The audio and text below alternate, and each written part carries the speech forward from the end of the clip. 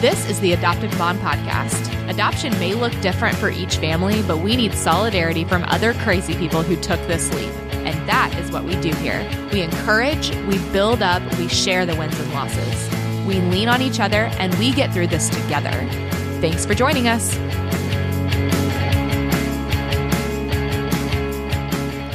Hello, AMP fam, and welcome to season three, episode four. Today, I have a little bit of a different episode for you guys. I know that a huge population of our adoption community have stories of loss and of heartbreak that maybe preface their final adoption story or they like ring true for them currently. I never want any adoptive parents to feel left out of this podcast family, so I knew that I needed to make sure that you guys' stories were represented here too. So that brings us to Kristen Compston. She and her husband are like many of you whose nightmares of failed adoptions came true. What I love about Kristen is that she's not like years removed from her story. This was recent enough that the sting is still very present for her family. Um, I'm so appreciative of how open and vulnerable she was willing to be for us in this interview, and I hope that you guys listening can give her some Me Too's on social media and in your podcast reviews. You can do that on iTunes or Stitcher or wherever you listen to podcasts. They're really going to help get this podcast into more ears that need it. It helps us be suggested on iTunes to people who are searching for adoption podcasts or parenting podcasts or anything like that. The more ratings and reviews we get, the more that that's going to be suggested. So thank you guys for doing that who have already. And if you haven't, hop over there now. You can do it while you listen. Before we jump into our chat, I wanted to remind you guys to join the AMP community in a couple of different ways. If you haven't found the podcast or me personally on social media, do it now. You can find the podcast and me on Facebook and Instagram. And if you give us a follow, you'll be able to keep up with new episodes, resources, and events as they happen. Another great way is by signing up for the email list. And thank you so much for the people who have already signed up. It's so fun connecting with you guys. But this is going to give you quick access to special links, resources, and updates directly in your inbox every Monday morning. And you can jump on that by heading to theadoptivemompodcast.com slash email. That link is going to be in the show notes, but if you're on the show notes, you can also just click one bar over to the tab that says email. It's really easy. And I think that's it for housekeeping. So let's go hear from Kristen. All right, guys, welcome to the Adoptive Mom Podcast. And today I'm sitting down with Kristen Compston, and I'm always so excited to talk to people who I've never met in real life because I feel like I get to know you so much better. So, with that being said, welcome, Kristen. How's it going? Good. So, tell us a little bit about who you are. Yeah, uh, like you said, my name's Kristen. I live with my family in uh, Colorado, outside Boulder. Uh, my, yeah, that's I'm a social worker. I work part time, and I have three kiddos. So we and my husband and I, you know, make it through day to day. Yeah, lead this crazy life. what does he do? Yeah, uh, he is. I need like a quick elevator pitch for what he does. He works for Twitter. What? Um, and he does like business, uh, data business management. That's a lot of big words. Uh huh. I heard Twitter sure and something about business. I'll take it. Mm-hmm. Yeah. that's, that's, super that's cool. I mean, I like the Twitter. Extent so. of what I understand. Yeah. Hey, that's cool. Um, so you guys are an adoptive family, and but mm-hmm. not all of them are adopted, correct? Correct. So what? Um, what's just like the overview? How many? How many are adopted, and how many are bio? Yeah, we have three daughters, uh, two bio and one who was adopted. So they're nine and seven are our two biological kiddos, and then our youngest is 11 months, and we adopted her. That's so fun. And so you, you know, the the reason you're on this episode is really to talk about um, some dip- disrupted adoptions stuff, and it's not it's not a super pretty story, right? right.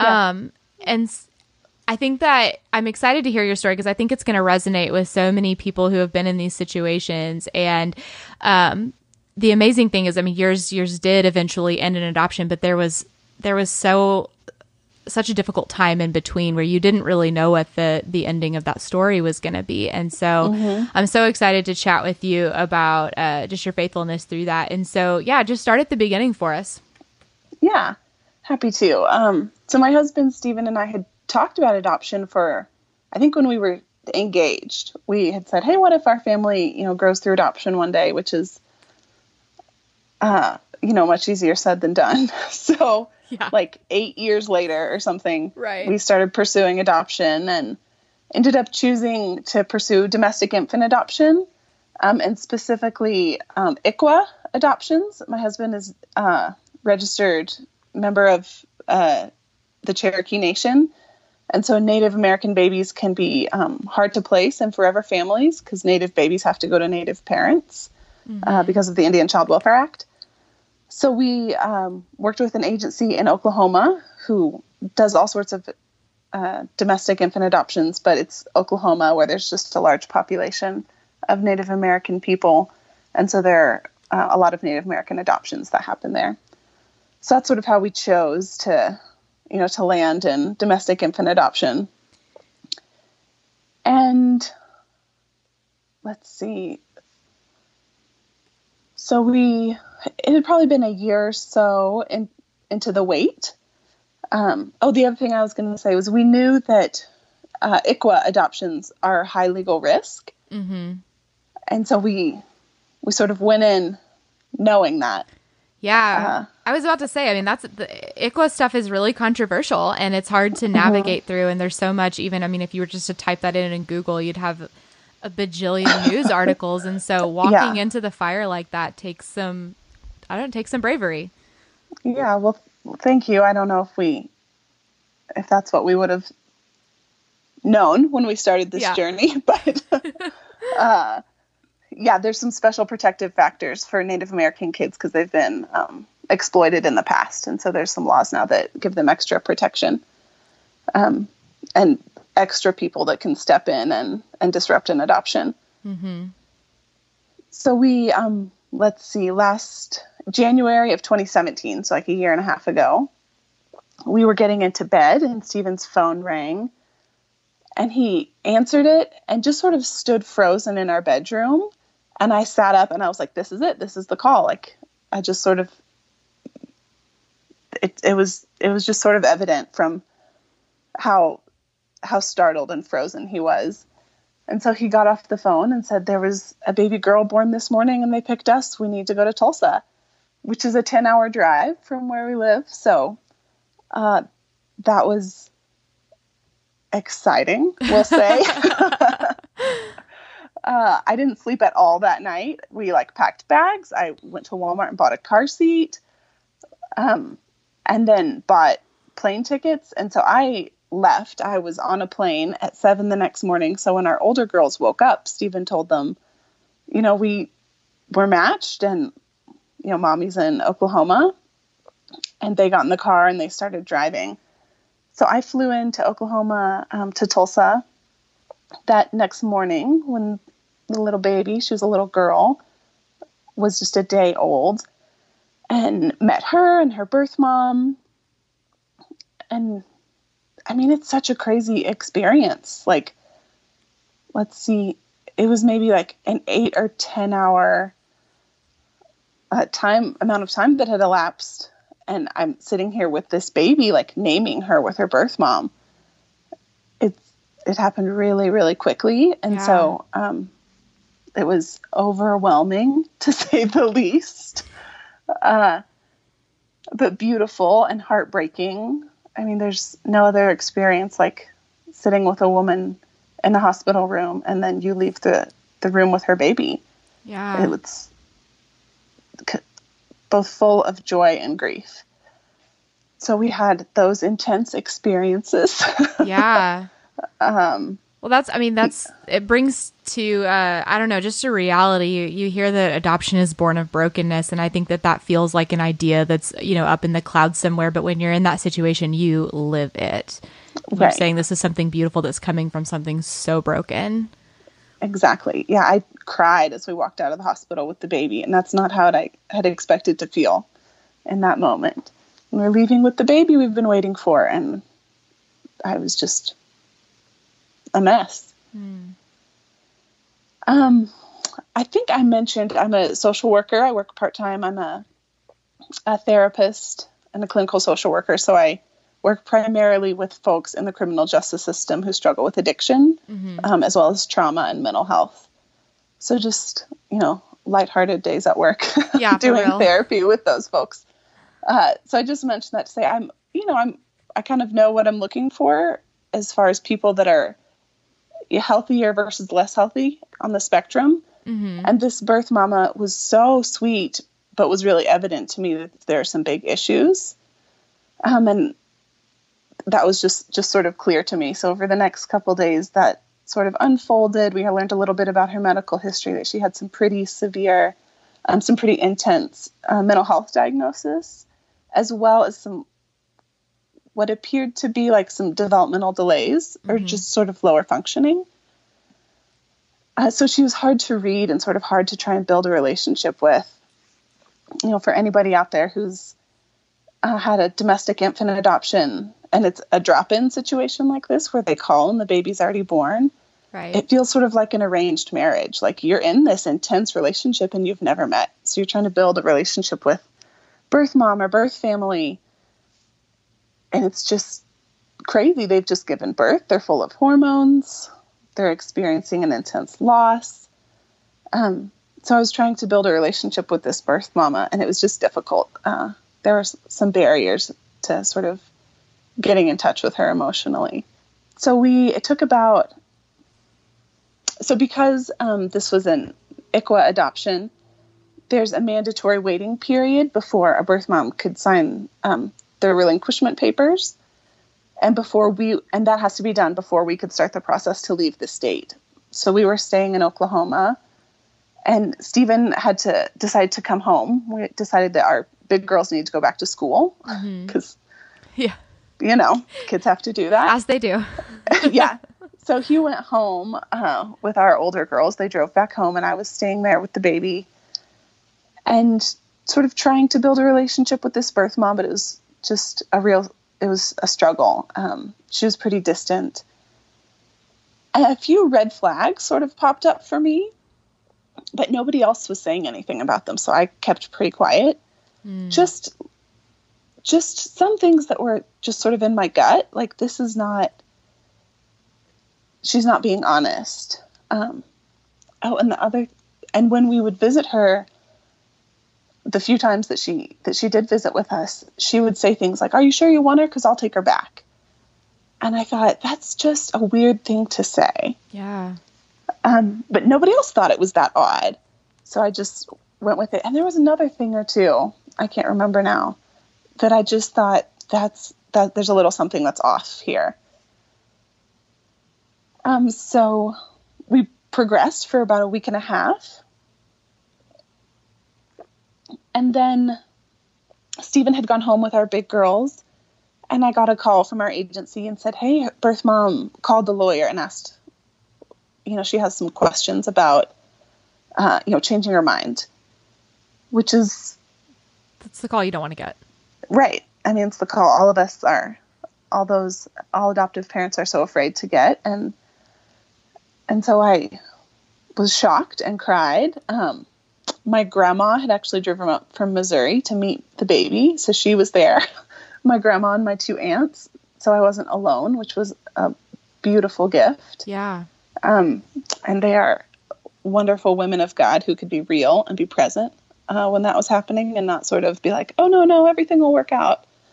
Um, but that kind of let me experience the, the fear and the grief that was starting there. So I, they said, okay, we're going to, you know, talk to birth mom, get back in touch with you. Um, and I know that if a birth mom, you know, calls and says, "No, I've changed my mind," like I no longer have any legal right to that child. So at any minute, somebody could call and say, "Get in the car and take that baby back to her birth mom." which is a, a hard tension to live in mm-hmm. uh, for a couple hours. And I ended up living in it for a couple weeks. So each day, uh, her birth mom would call um, and say, I think I just need to talk to a counselor. Let's put it off for one more day. And so she was going to counseling every day and seeing a counselor that our adoption agency um, provides for birth moms. And so each day, um, I'd call her after the counseling appointment and say, How was it? Do you want to visit with me and with the baby? And each day she'd say, Well, I just think I want to sleep you know, think about it for one more day. So that ended up going on for about another two weeks, mm. just each day not knowing if I'm this baby's mom or her babysitter, which again is a painful tension to yeah. live in. Uh, and Stephen had gone back home. So, sort of each day we were feeling out should he stay there with our big girls or should he come back and be with me? Um, so that went on for a couple of weeks. And then the day, um, the court date that birth mom was supposed to go to court to sign the papers, you know, I was thinking if we can, she's not changing her mind. We're getting closer and closer to court. So the day of court came and she said, No, I definitely don't want to do this adoption. I want the baby back.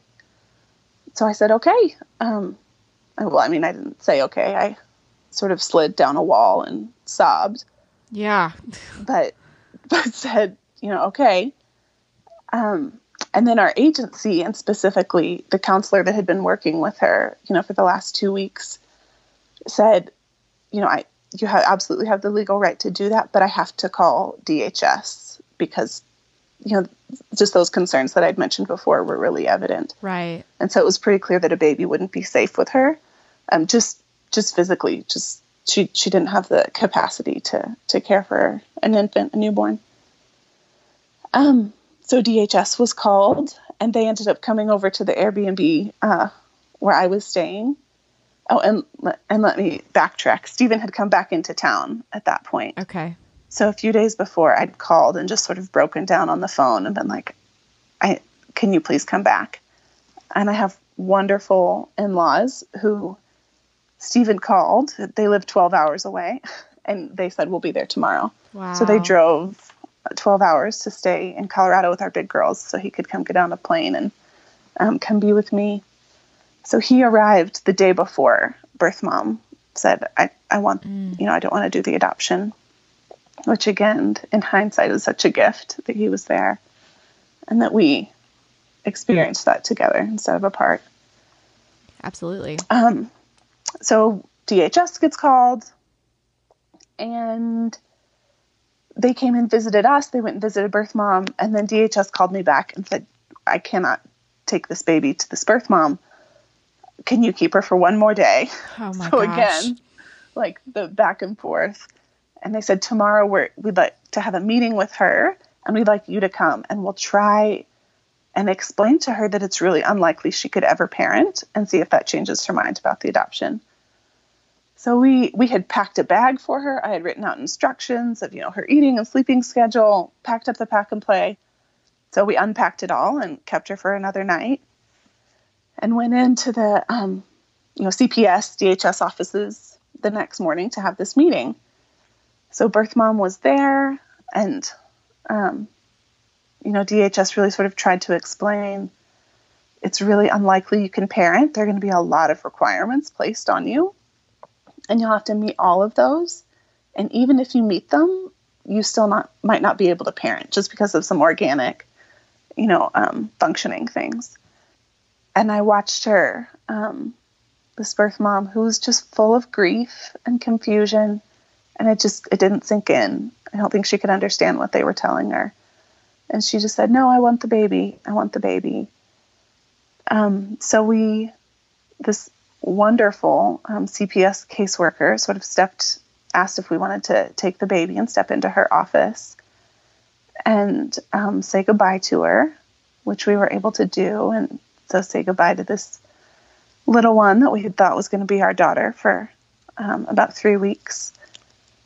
And um, this CPS worker. So again, I'm a social worker. I know all of the things that they're required to do. Um, and she said, "I know I'm not supposed to say this, but are are you people of faith?" And we said, "Yes, we are." And she said, "Could I pray for you?" And so she mm-hmm. prayed over us, which was um, really just really beautiful in that moment. Just felt like the Lord sort of telling us, you know, He's got her. So we said goodbye to the baby and handed her off um, and left.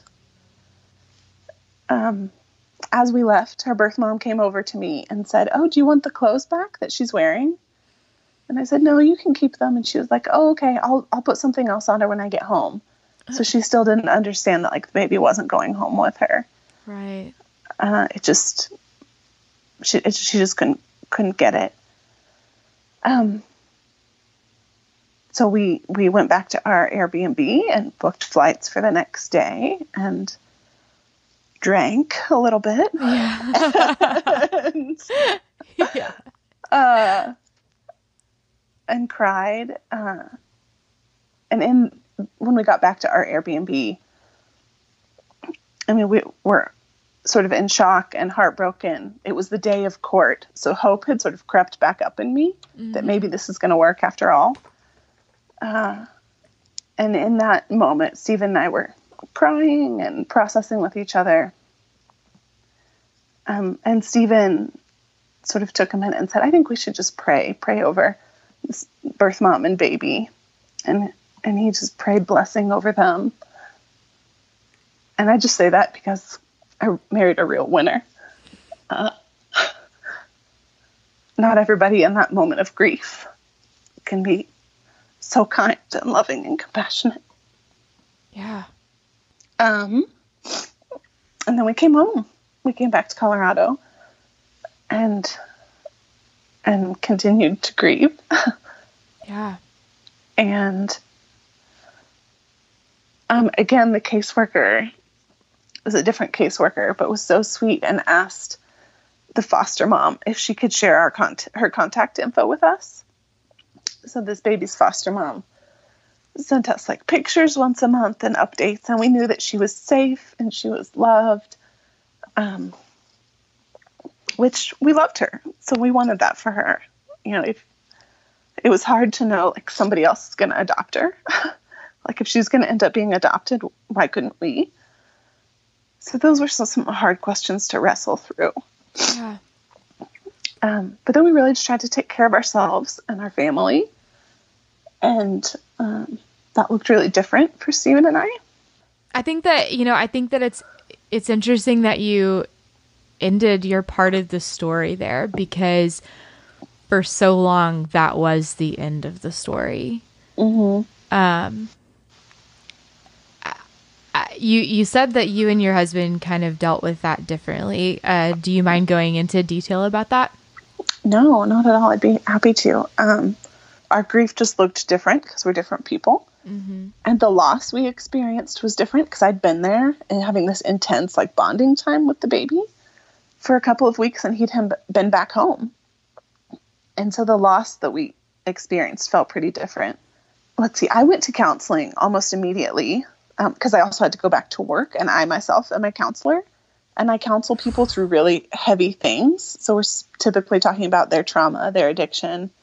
Um, so I felt like I needed immediately that support, even just, you know, for ethically and professionally. I needed to make sure that I could be dealing with my grief sort of on one side so that I could be a, a healthy professional at least a little bit of the time. Yeah, that takes some Um, master compartmentalization. Yeah, and I have some great coworkers too. I run a therapy group, and when I got back, one of my coworkers had been covering for me, and the group that I came, I arrived back for, we were supposed to talk about grief, and she was like, "Don't, don't even attempt to come. Like, I will run this group.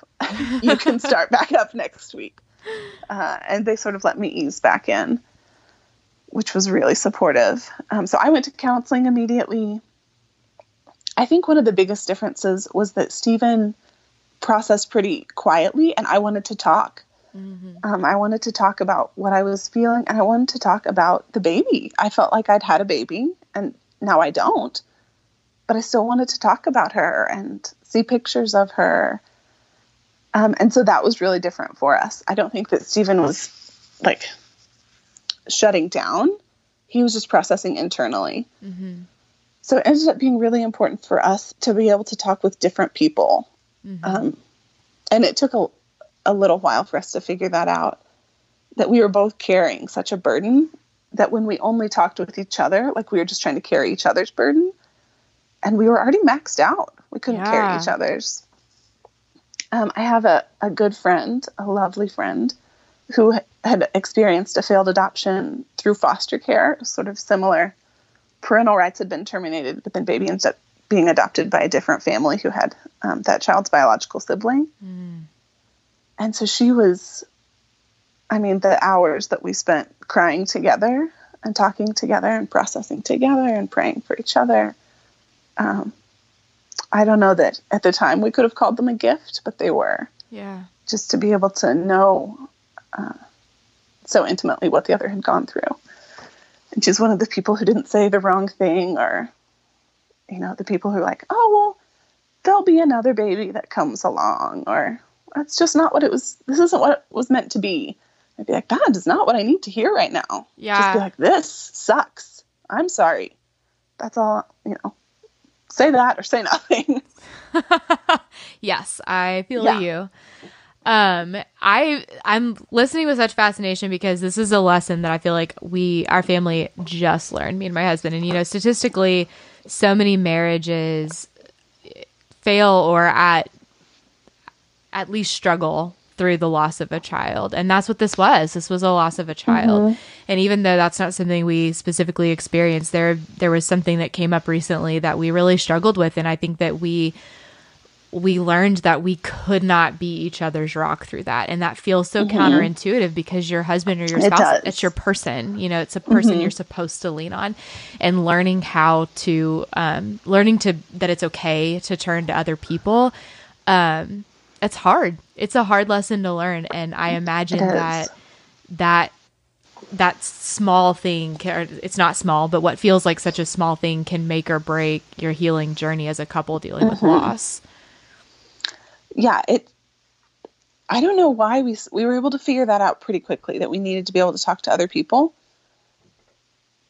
and and that was really helpful there were a few times um, and we also started out with a pretty healthy relationship so we were you know, coming from a, a good place even through this loss, where I could say to him, like, when I cry and you try and change the subject, I feel I, I understand that you're trying to distract me and cheer me up, but what it feels like is that my experience isn't valid and you don't want to hear about it, mm. which are hard things to say to your partner. Even though it's true and we grew from it, it just it's hard to grieve, yeah, uh, and to grieve differently and to to tell each other what you need and so we experienced a lot of that. Yeah. um, but counseling was really helpful. Um, I journaled a lot, prayed a lot. Um, I wrote thank you notes to kind of all the people along the road that had been present and had walked alongside us. Uh, I wrote them to the caseworkers, and then I ended up writing a long letter uh, to the birth mom I waited a while until I could write her a letter that didn't, um, where I wasn't blaming her for anything, mm. and where I wasn't trying to passive aggressively show her that the baby would have been better with us. so it took several weeks for me to be able to be in that place. Uh, I really was trying to find some closure, um, but do it in a healthy way. And one thing that Stephen and I tried really hard to do was just to be real about what was what was happening. It wasn't this birth mom's fault. She wasn't malicious. Uh, she was a grieving woman who understood to the best of her capacity, and and her capacity was was sort of low, but she was doing the best that she could. Mm. She led an extremely difficult life. Um, you know, there had been abuse in her past, and and even in that DHS meeting where she was, you know, telling us that she was not going to proceed with the adoption, uh, people were sort of talking over her and cutting her off, and and Stephen like quieted people down and made sure that she had a voice at the table and that she was able to speak. Um, so really trying to keep that in mind that that this was not her fault. We weren't owed anything.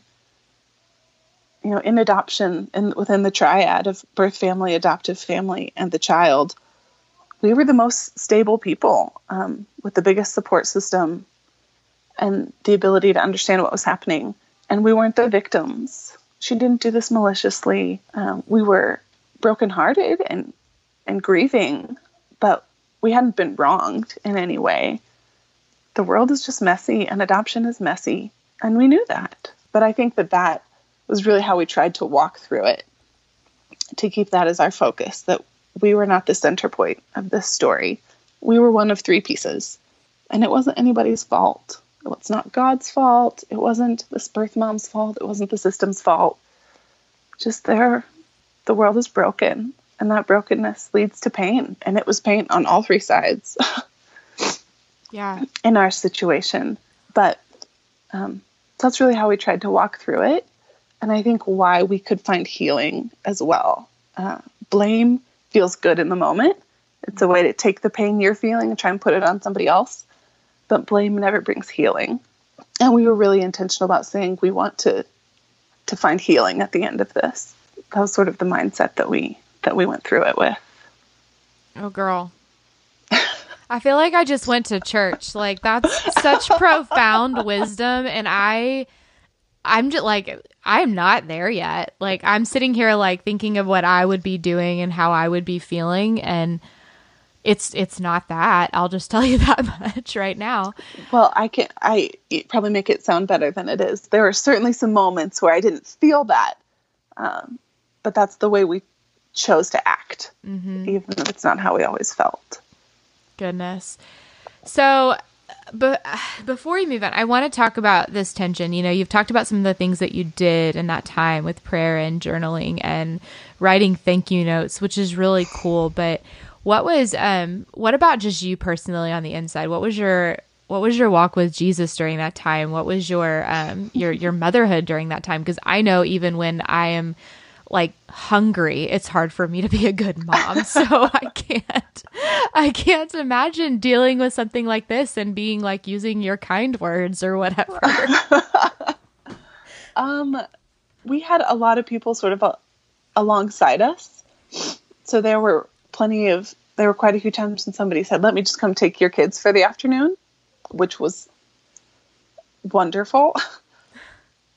um, but there's sort of a you know, there's a difference when you're like the mean mom or angry mom or or sad mom. So in that time, you know, my my two daughters that we have were were like a balm for my heart. Mm. You know, they're um, I could hold them, and not that they really let me hold them; they're pretty big, but snuggle up to them, and you know, and it brought some some healing there. I think we were probably pretty lax parents. We ate a lot of like cereal for dinner, and uh, and I we cried a lot, but we just kind of tried to do that openly. And when they asked, we just told them like I, I'm just missing the baby um, and talk with them about that. So, trying to walk that balance of being honest, letting our kids see us grieve and hear us pray about it. And we prayed with them for this baby and uh, and her birth mom, um, but not asking them to carry it, which is a hard balance to find. Um, their reactions when I told them what was ha- was happening, you know, the adoption had been disrupted. They were sad, but then both of them their next reaction was but this is good you know if if birth parents can parent that's good mm. and so we were just like you're right that's you know if if families can stay together they should and even though it's not what ended up happening their response was just really sweet yeah so do you still keep up with her with the foster mom just the baby in general. The um, I have not as much, which has been a conscious choice. Okay. That she's so I I did get a picture of her. Her foster mom texted me, um, probably a little after she turned one, but after her her first birthday, I consciously chose to stop reaching out and saying, "Hey, how's she doing? Can you send me a picture?" Um, and that foster mom had been so generous, sharing you know her time and the milestones and pictures but it was just me coming to a place where I was saying that's not my daughter i mm. can pray for her for the rest of my life but she's not my daughter and that's okay and so i don't have to get updates once a month so i did get a picture of her maybe a month or two ago because she and i have still had to exchange you know our name is on all these forms and so stuff like that still comes up and so she'll have to get in touch with me and be like what is this do you have the phone number for this what was you know this uh, hospital test or something. But for the most part, I don't reach out to her very much. Um, anymore. I know that that that baby is safe and loved and she's with her family. And so it's just I've had to try and create a boundary there. Yeah. Well, that makes sense. I think that um, even though that closure didn't come definitively for you, that maybe it's been more of a process, which is okay. So when we first talked and we had discussed doing this interview, um, it was it was many months ago, and we were kind of in this tension that we were talking about, where your story it, it wasn't over yet, but you weren't sure what the ending was going to be, and while another baby, just like all those you know all those friends told you, or not friends, but mm-hmm. just people told you, like there's another baby, and that doesn't help you in that moment, and there was another baby, but that doesn't negate the first your your grief. Um, right but I think it's really cool that now, in addition to your, um, in addition to your first adoption story, you now have another one, and that wasn't mm-hmm. planned whenever we first uh, talked about this episode. So, um, tell us about your your second adoption story. Yeah. Um, so our, our second adoption story is our daughter who's 11 months. So this one has a, a happy ending. um, so the you know i'm happy to share her story but i also want to protect it some so i'll probably be a bit more vague uh, it's her story to share you know when she gets older and and we have an open adoption and you know i can't tell her story without telling her birth family's story and that's not really mine to tell but it looked really similar so um it was another drop in so we just got a call they said there's a baby another baby girl her birth mom has picked you. Can you come to Oklahoma today? Whew. So talk about some triggers, right? Seriously. Um so it was so triggering, so scary. Um the first with our our first adoption even though those thoughts were sort of playing of sure an adoption might not work out we know that's a possibility it's not where we thought we were headed and then with this one it was kind of it it it just felt so scary. We mm-hmm. knew how easily adoptions can can fall apart and be disrupted, and um, so it was really triggering. It was really difficult, and so we sort of same thing. I got on a plane. Stephen drove with our big girls. Um, the baby was still in the hospital, and so I spent that next night in the hospital with her. Uh, her name is June. Aww. And so we got to name her with her birth mom and you know kind of from that first call and to honestly things that we're still trying to resolve right now the mantra in my head has been like this this is a different story um, you know just knowing that i'm i could read into uh, june's birth mom i mean so just really pick apart what she said and how she acted and uh, if she changed when we were going to meet. Just, I was always looking um, for a sign that she was changing her mind. Um, you know, to be honest, bonding with June was harder. Uh, we knew exactly what it was like to fall in love with a baby and, and give him back. And so it was, it was, we had to be really intentional. Um, and we had to be honest that it was hard, which feels like you're a bad parent mm-hmm. to say out loud like this ba- I look at this baby and I know what it would be like to lose you and so I you know it you protect your, your defensive instincts yeah are to protect your heart which means slow down this attachment mm-hmm. so we worked really hard um, to just attach um, doing all the physical things and then I talked with a few adoptive moms who were just honest and were like, it's okay it's okay that you feel that. Just keep doing all the things you're doing, and and it'll come. Uh, Stephen said that adopting is like moms get to experience bonding the same way that a dad does. Somebody puts a stranger in your arm and says, "This is your child." That's an interesting. And, and you learn to love them. so it was a very different experience because we have two biological children, and so you know it's different giving birth versus um, someone else putting a baby in your arms.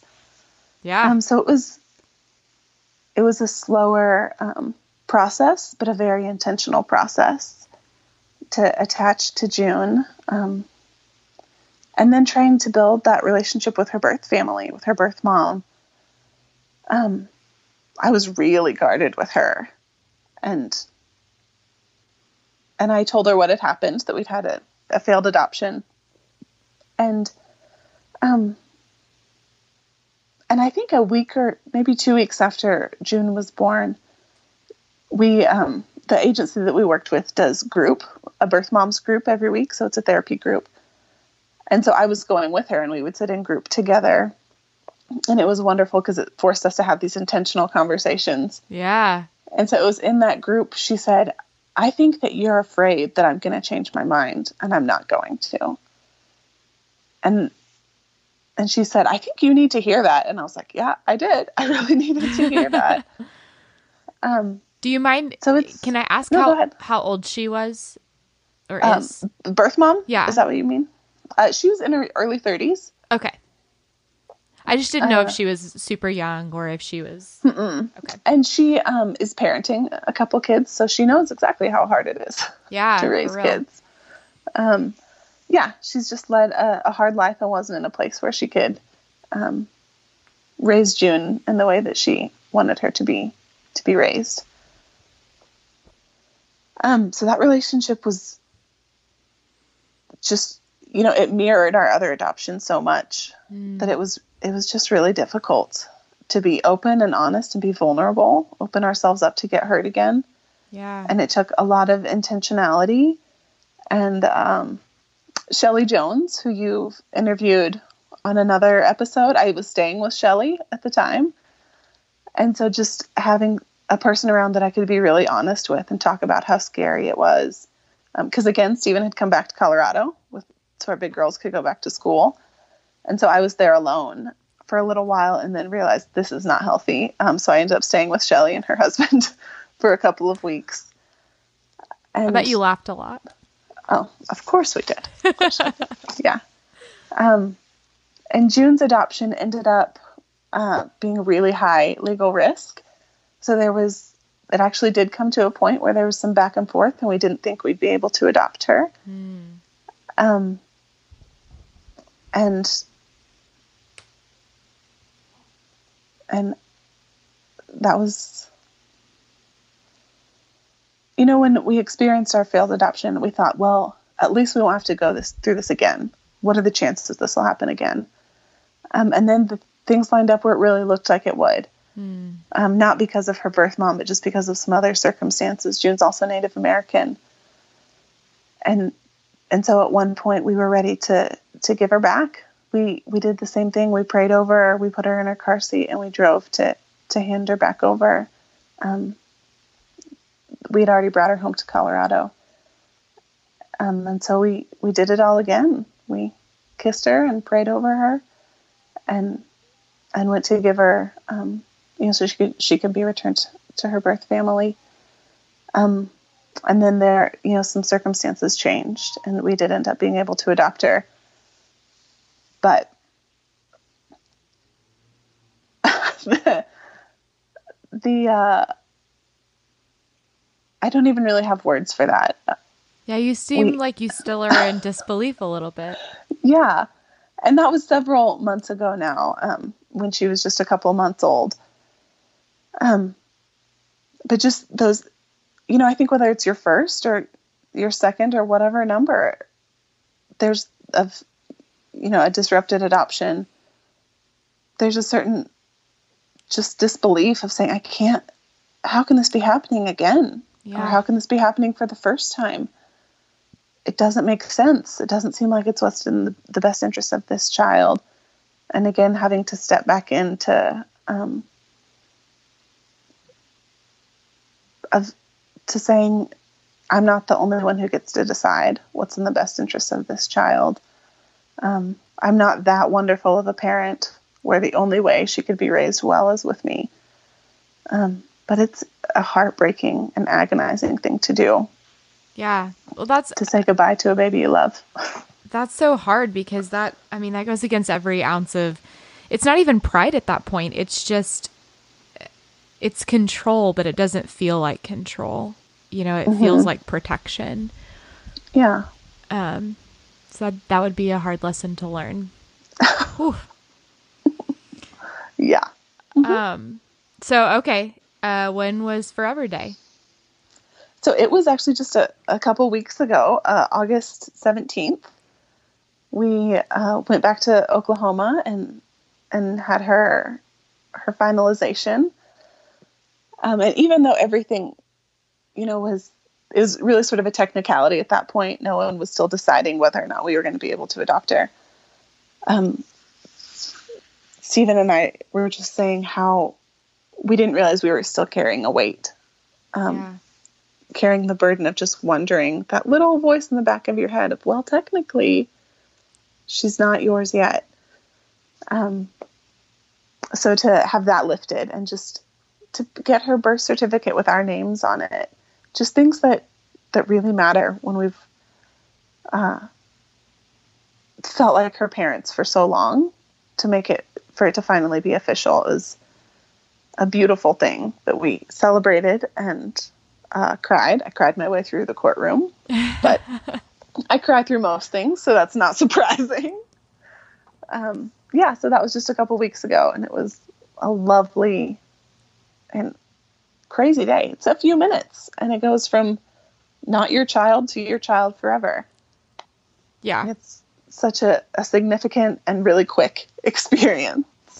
Yeah, and I think you know, not I'm not at all like trying to make any of this about me, but I just think that it's so cool that like like I said, I think we talked in March, and as of mm-hmm. this recording, we're recording in um, late August right now, and it was I feel like so much change, and I just got the highlights. It was like, oh, I can't record, we might be getting a baby, and like, oh, I can't record, we are in this adoption process, and now we're recording and your adoption just happened. And i think that that uh, it's just so cool to have been able to like because I, I haven't heard the story yet but to have been able to have known you before and after uh, is really neat. So um, before we close out i have some uh, final questions for you if that's all right with you mm-hmm. so um, what would what do you wish that someone had told you at the beginning of this journey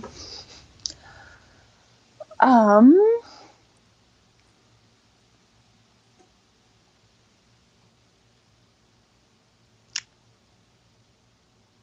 I I'll sort of half half answer that, half put my own spin on it. Um, because I, what I wish I would have been told, I kind of was told, and, and that, um, the Lord is making all things new. So in the you can go through what I thought at the time was the scariest experience, um, the thing that I dreaded and almost had a hard time thinking about because the idea of of um, having a child and then giving it back it's just was my you know my worst fear that through that um, joy and hope and peace can still be present. Mm. Certainly not easy, and I am not in any way sugarcoating the pain that it is to go through a disrupted adoption. Um, but the sweetness that I experienced from just the presence of the Lord and um, my relationship with Stephen, that in the midst of that intense suffering, there's um, there doesn't have to be fear that we can suffer and not be afraid, um, that you can suffer and still uh, be loving. I guess that's what I wish someone would have told me. Yeah. I don't know. That's, that's, sort of a weird answer to your question, but very profound. So, uh, yeah, absolutely. Um, okay, so what is something that you wish you had done differently? Um, I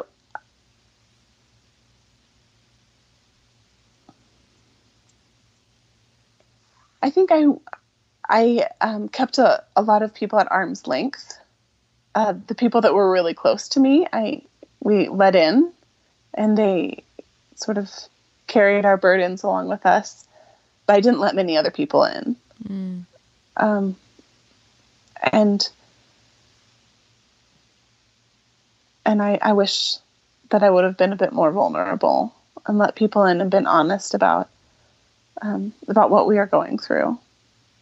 That's so hard in the moment, though, isn't it? Because you, in your mind, when you're when you're grieving or when you're just struggling through something, it's like all you can think about is i mean it's kind of like when you're pregnant you know you don't want to tell anyone at first because mm-hmm. if something happens you're just adding up how many people you then have to follow up with and um yeah i imagine that that would have been really hard to um yeah and right at first everybody knew that we were struggling but um i'd say it probably took me a good six or seven months to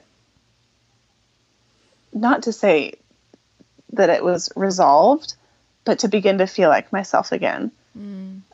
Um, I still cried when I was alone in the car. Every time I took my kids to school in the morning, and I cried the drive back for six months. And so those pieces in the later months, I think I are where I wish I would have been more open. I think only Stephen and like one close friend, one or two, knew that it was still that hard several months later. I think people assumed, like, well, you had it for three weeks. You should be over it by now. And I wasn't. Yeah. I mean, yeah. Goodness. Um, okay, what is one specific way that your tribe really supported you through this? Mm. Maybe through both experiences. Yeah. Um, yes. One thing one specific thing comes to mind.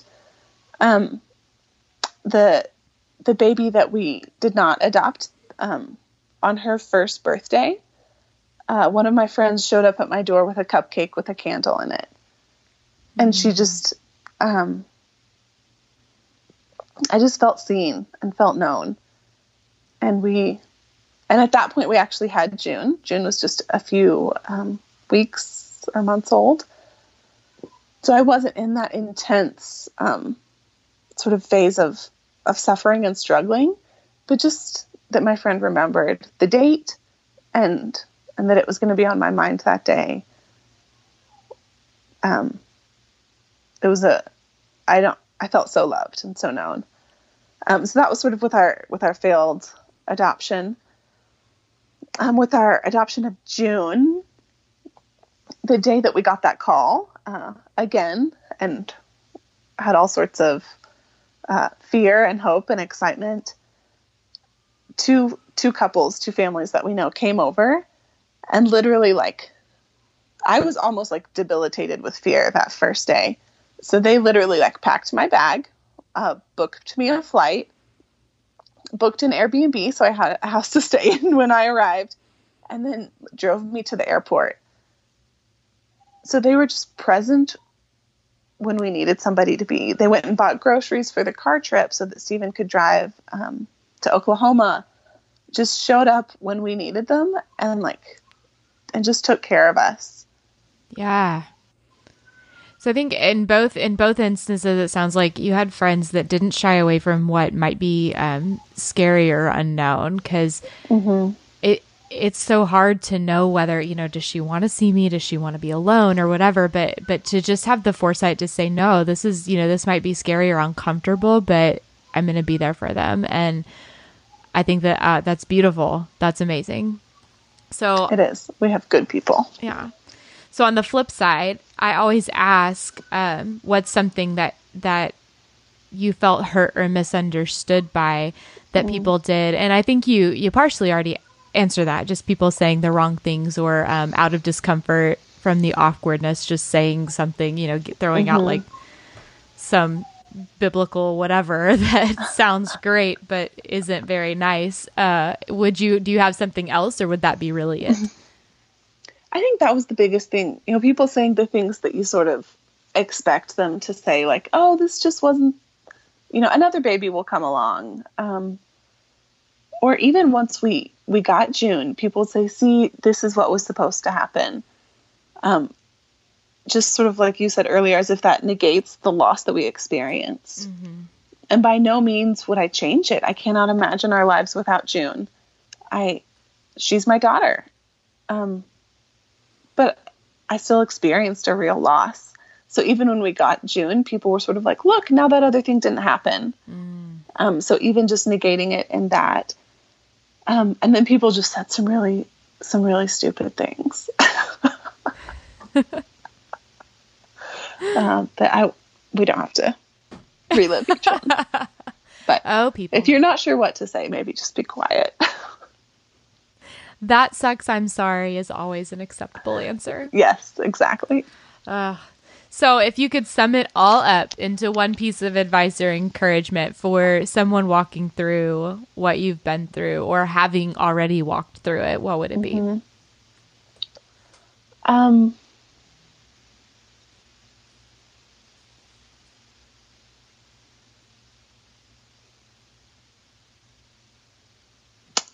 it would be um, that your loss is real and it's okay. I got a text from a woman I've never met. She sort of heard what had happened to us through our agency. She was another adoptive mom. And just sent me a text that said, I've experienced a failed adoption um, and like a, a late term miscarriage. And I can tell you they feel the same. So mm. it like your loss is real. So just validate that whether or not you know people are matched during pregnancy and it falls through or you know a child that's been you know in a foster home for a long time uh, it's a real loss and and give people time and space to grieve. Because um, i think the people that really understood me understood that we were grieving the loss of this child. And also i had envisioned our lives together. And so it was this whole future that had fallen into place that we were losing as well. Right. So it's a, it's a lot. It's a lot to lose. Um, and that and that's okay. It's a real loss. We don't have to pretend it didn't happen. Yeah. Beautifully said. Um so where can where can we follow you guys and uh, your story and all the you know cute pictures and whatnot? Yeah, I have a Facebook account. I never use it, so you can go look at it. Because your husband you works want. for Twitter, right? It, it is. that is exactly why. So you can follow me on Twitter uh, at Kristen Compston. Um, and my husband Stephen is at Compston. Um, and you can follow him. He tweets a lot more often than I do. Of course he does. Um, and I have, yeah, of course he does. He gets, he's like encouraged to tweet at work. Uh-huh. And then I you can follow my Instagram account, which is K Compston. Okay, awesome. Well, thank you yep. so much, Kristen. This was, uh, I mean, I don't want to say this was a lot of fun because your story is so hard, but I, it, it's great to hear it. And it's great to hear that it's great to have that reminder that again, adoption is beautiful, yes, but it comes from brokenness. And if we don't honor mm-hmm. that, then we're not honoring our children's whole story or any child's whole story. Um, so thank you for for sharing with us today. Yeah, well, thank you uh, for listening and and for having this as a subject on your podcast. Uh, it's something that we should talk about. Yeah, not all adoptions work out. Thank you for listening to the Adoptive Mom Podcast. I know this stuff is hard, and I hope you found encouragement here. Remember, you are enough and you're doing a great job. God wants to be at the center of this journey, and He is big enough to redeem all of our mistakes. Don't forget to check out show notes and other resources at theadoptivemompodcast.com. Thanks again for listening.